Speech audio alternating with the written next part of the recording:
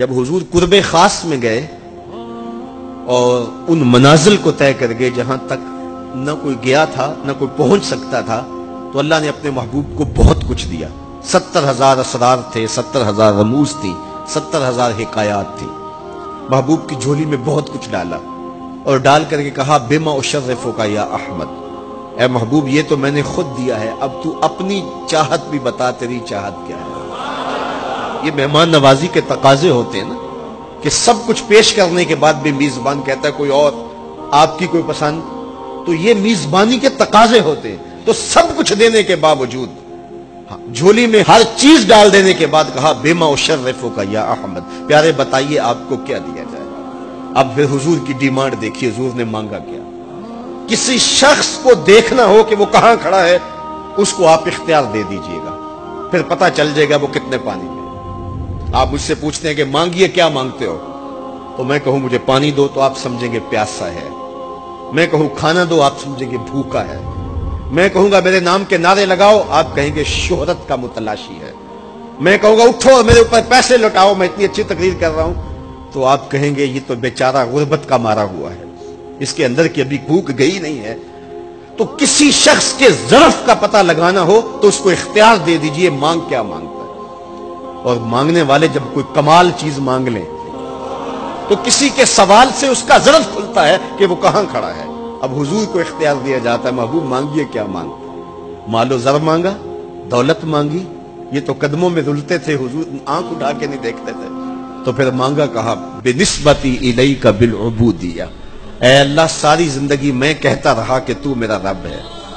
یہ میں نے غاروں میں بھی کہا۔ یہ میں نے پہاڑوں پہ بھی کہا، طائف کے بازاروں میں بھی کہا، مکے کی گلیوں میں بھی کہا، برستے پتھروں کے سائے میں بھی کہا۔ میرے سر انور پہ اوجلی ڈالی جاتی رہی، میں نے سر نہیں اٹھایا اور کہا کہ تو میرا رب ہے۔ ساری زندگی میں نے کہا کہ تو میرا رب ہے، آج تو بھی تو کہہ دے کہ تو میرا بندہ ہے۔ مجھے عبد کہہ کے پکار دے۔ ملا جیون علیہ رحمہ فرماتے امام راضی بھی لکھتے ہیں کہ یہ حضور کا پسند فرمودہ ہے۔ تو پھر اللہ نے جب بھی واقع معراج کی حکایت کی تو لفظ عبد سے جو ہے وہ بات کی سبحان اللہ زی اسرا بے عبد ہی اور وہاں بھی سورہ نجم کے اندر بھی فرمایا فاوحا الی عبد ہی ما اوحا تو یہ محبوب کی چاہت پر ہے۔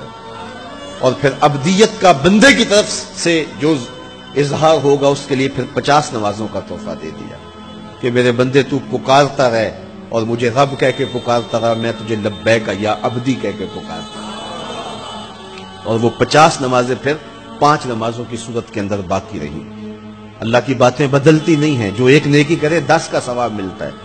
پڑھو گے پانچ، ثواب پچاس کا ہی ملے گا، اس لیے کہ اس کی باتیں تبدیل نہیں ہوتی۔ اور یہ تحفہ ہے، حضرت موسا نے تو عرض کیا تھا کہ ایک بار اور جائیے۔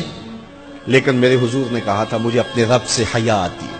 عادت باری یہ تھی نا، ہر بار پانچ نمازیں معاف ہوتی اب بھی جاتے تو پانچ نمازیں معاف ہو جاتی لیکن کہا کہ مجھے اپنے رب سے حیا آتی ہے۔ اب امت کو کیا حیا نہیں کرنی چاہیے؟ کہ پانچ نمازیں امت کے لیے رہ گئی، ثواب پچاس کا ہی ملے گا اور میراج کا خاص تحفہ لے کر آئے اور کہا کہ سلا تو میراج المومنین، یہ مومن کا میراج ہے۔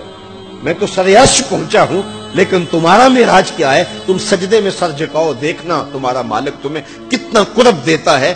جب کوئی شخص سجدہ ریز ہوتا ہے، اس پہ اتنی رحمتیں اترتی ہیں، اگر اسے پتا چل جائے کہ یہ رحمتیں نازل ہو رہی ہیں، وہ سجدے سے ساری نہ اٹھا